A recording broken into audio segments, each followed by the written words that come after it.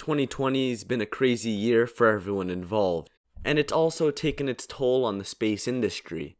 The pandemic saw investment in spaceflight fall by about 20%, and we've also seen a disproportionate impact on those space companies that depend on tourism revenue for a lot of their money. I'm looking at you, Boeing and Virgin Galactic.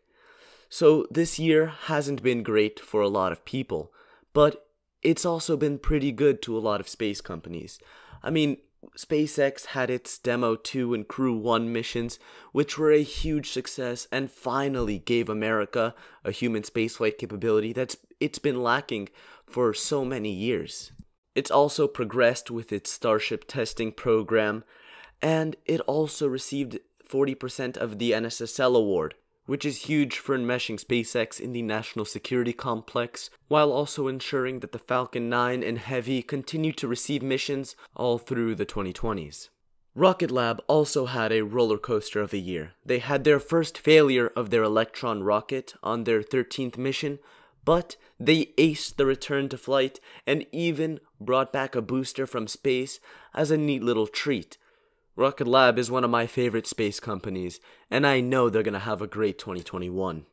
Astra also had a very difficult year.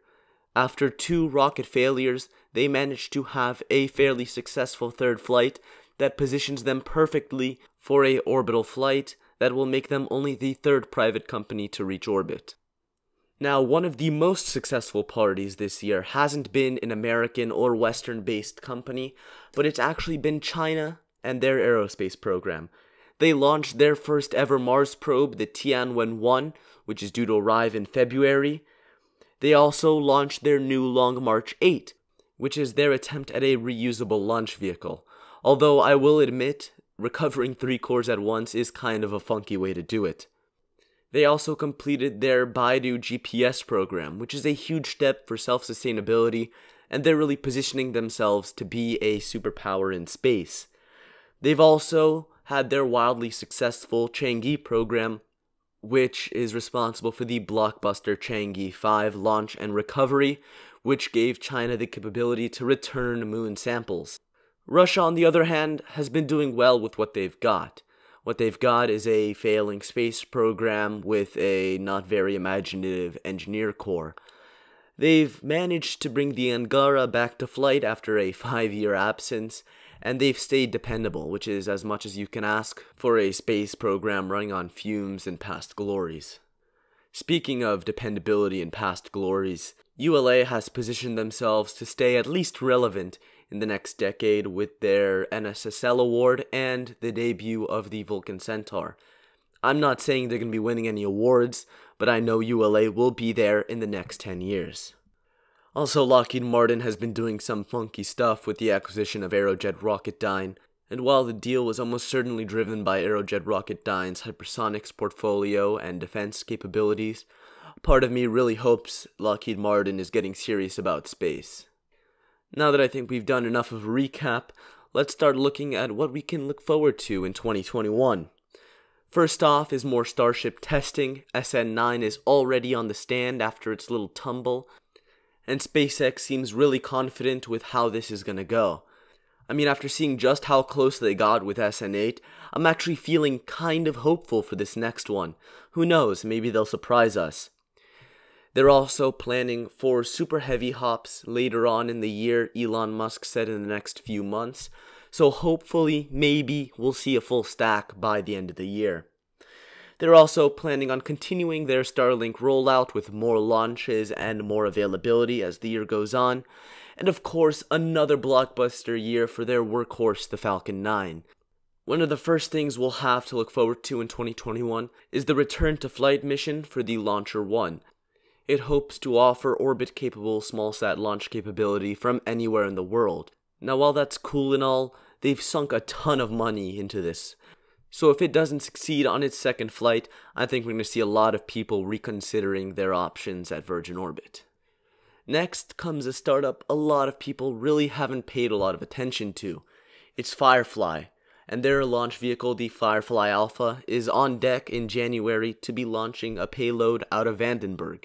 It's got a thousand kilogram payload, which is actually pretty big and is almost in a niche of its own.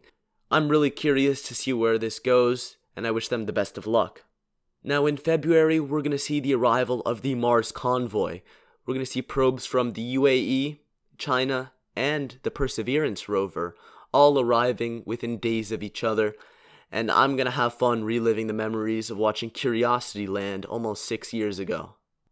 South Korea is also looking to join the Orbital Launch Club with their Nuri rocket, their first indigenously produced space vehicle and I say, as long as the Koreas are using rockets to launch into space and not at each other, it's a win for everyone.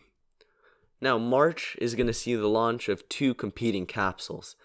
Starliner's return to flight mission is going to be another unmanned test flight after their debacle in 2019. Hopefully, everything goes well, but the day after, we're going to see SpaceX's Crew 2 mission.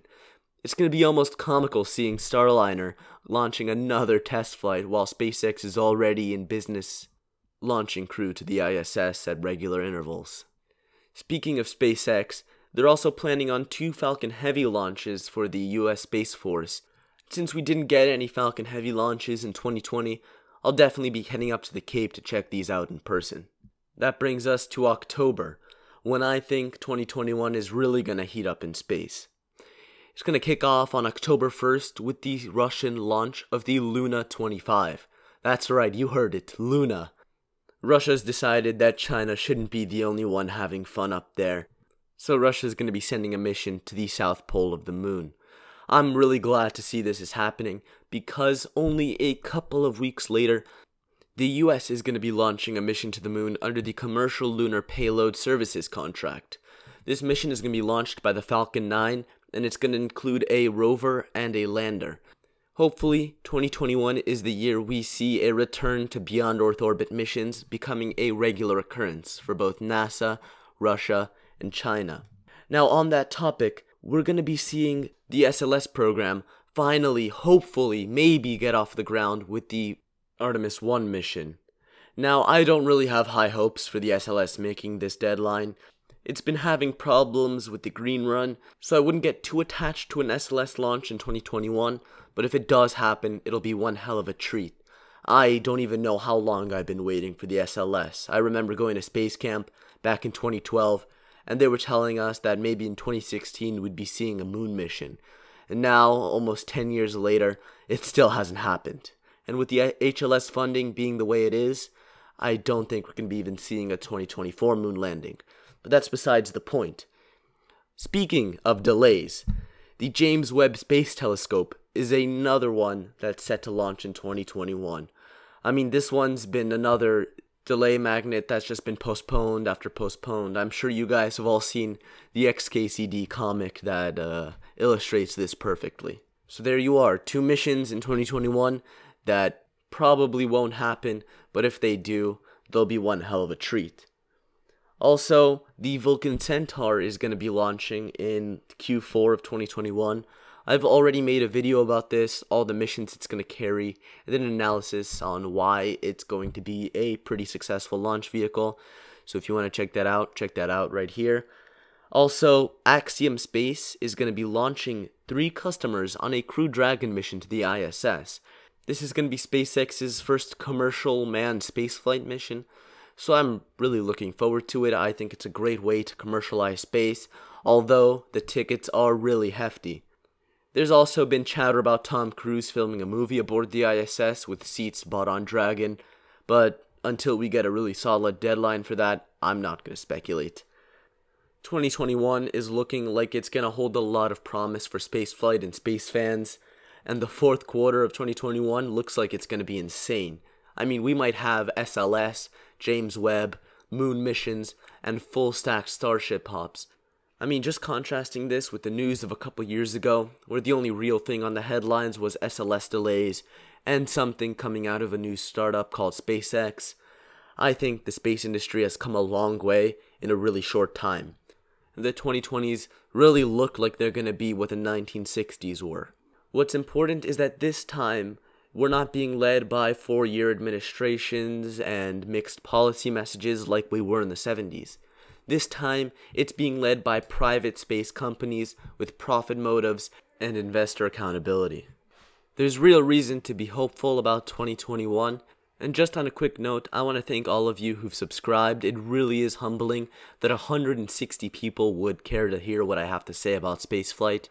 And I want to wish all of you and your families a happy New Year's. This is Cost Plus Content, signing off.